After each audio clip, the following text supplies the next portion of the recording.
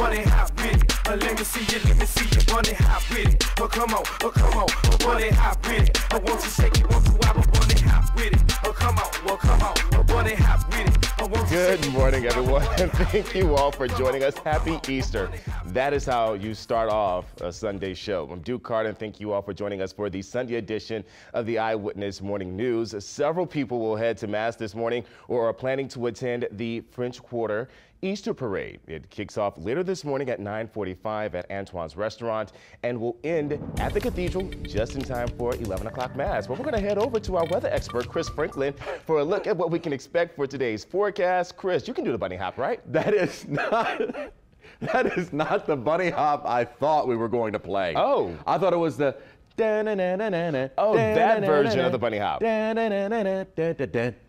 That's the bunny hop. We had I had never heard that version before. We had a little flavor for you, Christopher Franklin. I was a little thrown off by that. it's okay, we still love you. Thank you. I appreciate it. Happy Easter to everyone. Gorgeous weather. If you enjoyed yesterday, a full look at your weather expert forecast coming up, and maybe the correct version of the bunny hop in just a few minutes. Chris, that is our version of the bunny hop.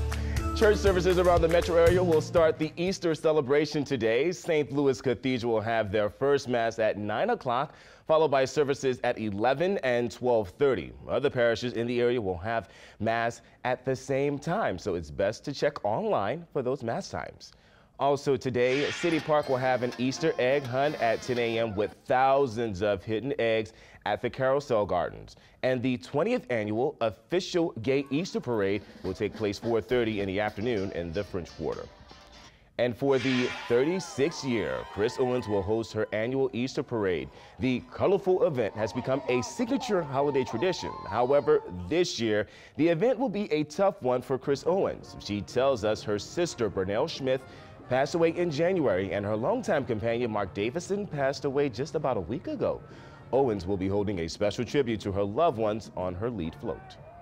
they got 14 doves that from the, just before the parade starts we're on the we're on the floats we so we fly away with the uh, doves with to the song i'll fly away to heaven above played by the band that's on my float david cook The celebration starts at the Omni Royal Orleans Hotel Ballroom at 11 with the hat contest. Then riders will hop on their floats and ride throughout the heart of the French Quarter.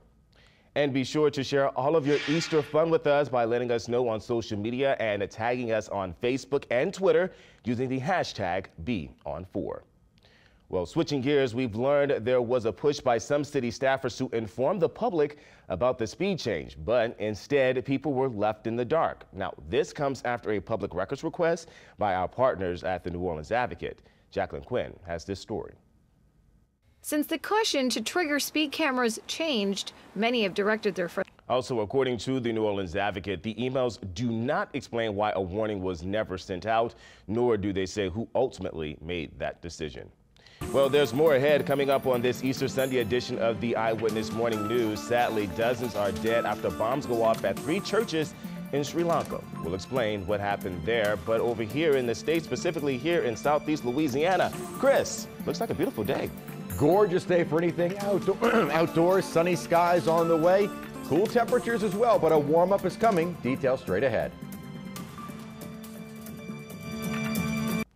Time now 608. Explosions at three Sri Lanka churches and hotels are responsible for the deaths of at least 130 people.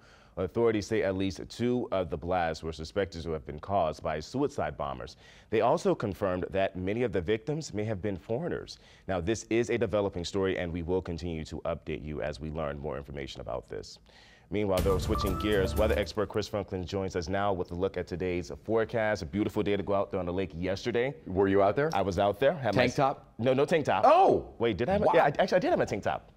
Tank top. Duh. Sun, sunroof was open, windows down, blasting Beyonce because she had a new album. Well, not a new album, but an album that came out. But an album nonetheless. It was a good album.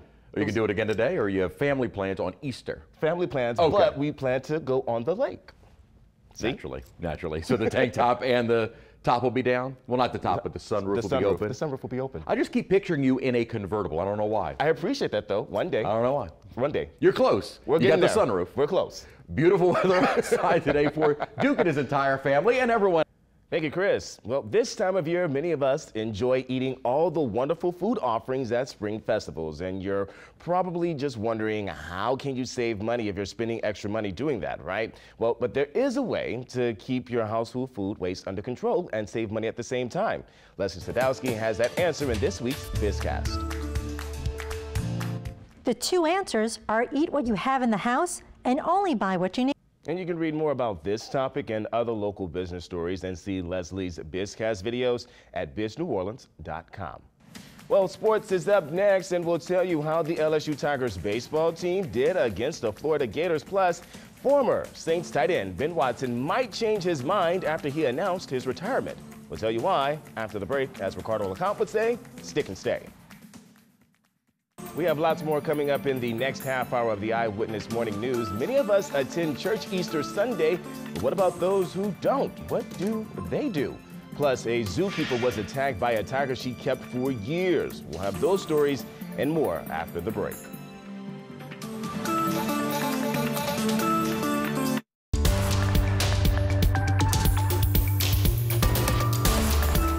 Good morning and welcome back to the Sunday edition of the Eyewitness News on this Easter Sunday. And since it's Easter, there is a question we must address.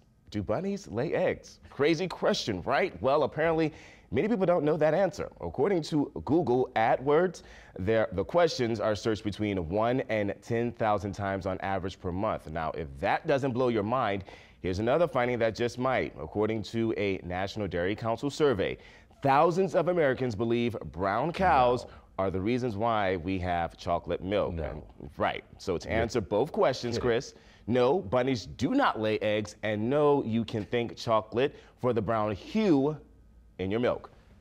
Weather expert Chris Franklin is joining me now on the desk. And Chris. Are these people allowed to vote? Is all I'm asking? I have no words for you. But what are your thoughts on this, Chris? Because clearly, you're answering the face. You're, you're, wow.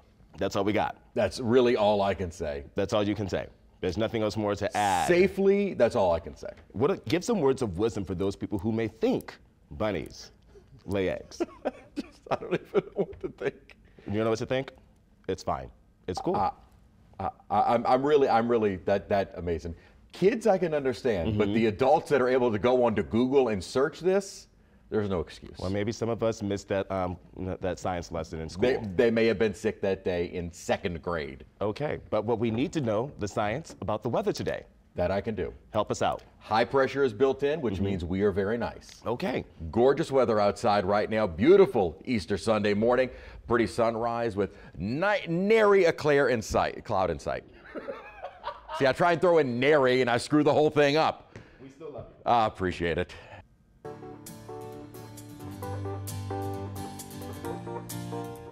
Church services around the metro area will start the Easter celebration today.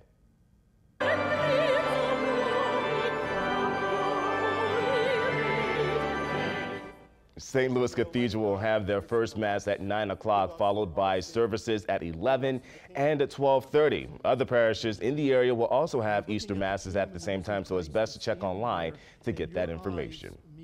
And yesterday was the first time in nine years the Easter service was not inside the Notre Dame Cathedral. Priests celebrated Mass outdoors. And of course, this comes after that devastating fire that swept through the cathedral's attic, badly damaging the historic church last Monday. But what about those people who aren't attending church this morning? According to a recent survey, more Americans are spending time with their families on Easter morning. Here's how some people in Dallas are responding. It's a beautiful day at the Dallas Arboretum. The spring flowers are in. There was a sharp drop in church membership among Catholics, dropping from 76% to 63% over the past two decades as the church was plagued with clergy sex abuse scandals. Membership among Protestants dropped from 73% to 67% over the same period.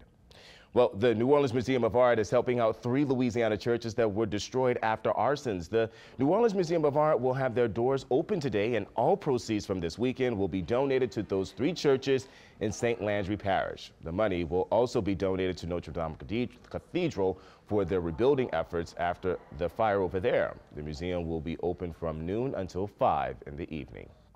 In other news, a scary moment in Topeka, Kansas. A tiger tackled a female keeper who has worked with the tiger for several years.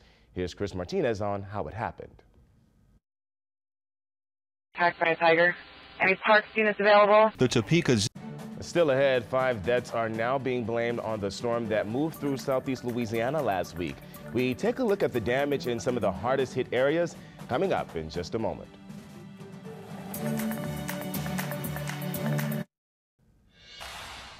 A massive storm that barreled through the southeast before moving north has killed at least five people and left a trail of devastation behind. Kenneth Craig looks at some of the hardest hit areas. Eight year old Mariah Weinman was killed when a tree fell on this house south of Tallahassee Friday.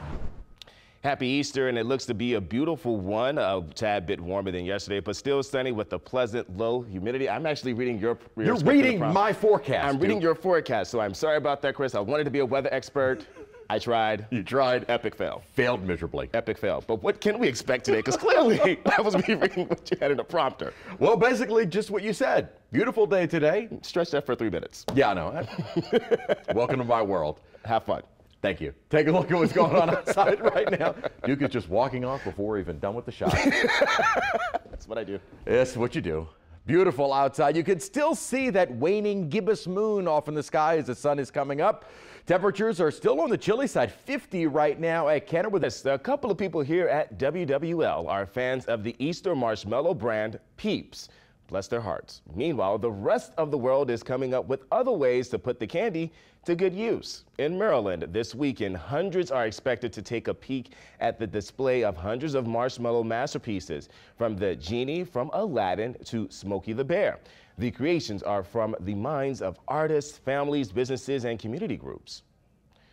Louisiana is known for our signature rice dishes like etouffee and gumbo, but Chris joins us now with the spin on a New Orleans favorite.